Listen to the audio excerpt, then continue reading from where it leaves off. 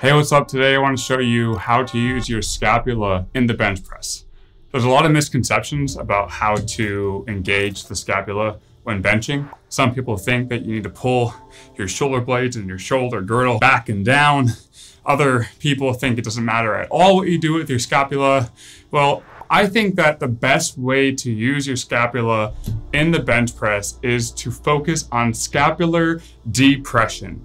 One way to think about that is the inverse of a shrug. You want to keep your shoulders away from your ears. When you unrack the bar, you want to have your scapula in a depressed position. That means pulling your shoulders away from your ears. Then you'll use your leg drive, use your legs to reinforce the upper back position, to reinforce that scapular depression, to maintain stability during the eccentric. Once you have the bar in the bottom position, then you can protract the scapula and you can allow the shoulders to elevate and to lock out.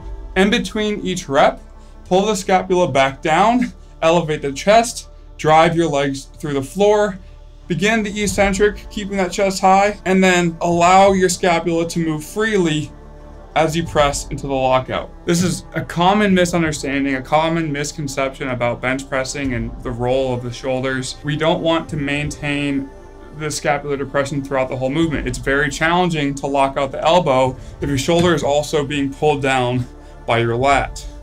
I appreciate your support and uh, subscribe for, for more.